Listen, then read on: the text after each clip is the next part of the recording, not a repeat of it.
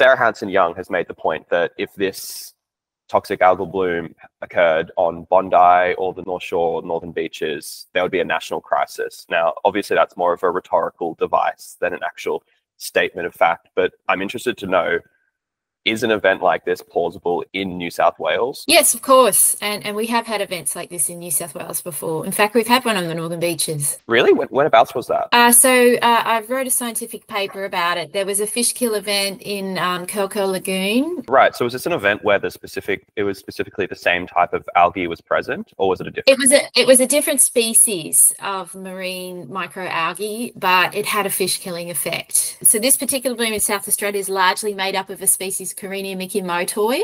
And we have had blooms of Karenia mikimotoi in New South Wales before, um, not on this scale. Um, they were lasting mm. this long, but yes, it's occurred. If something like that is possible in New South Wales, how can we prepare for it?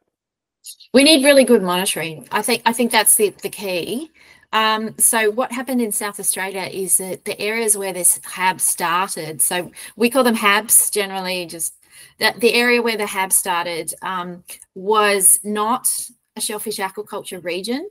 So that meant that it was quite a long time before, because we don't, in, anywhere in Australia, we don't have really regular monitoring outside of the areas that we're obliged to have regular monitoring for government regulation purposes, which is shellfish aquaculture waters.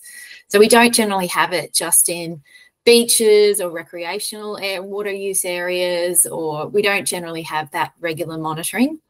Um, and that's why we didn't detect it for, till relatively late. Um, in this case of the South Australian bloom.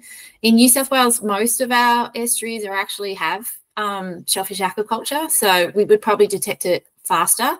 Having said that, Sydney Harbour doesn't. So, you know, if it happened in Sydney Harbour, I reckon it, it would have been similar to what's happened in South Australia, actually. Now, if you find this interesting and want to know a little bit more, you can click on our profile and watch our previous video where I explain what's happening in South Australia and why it's happening.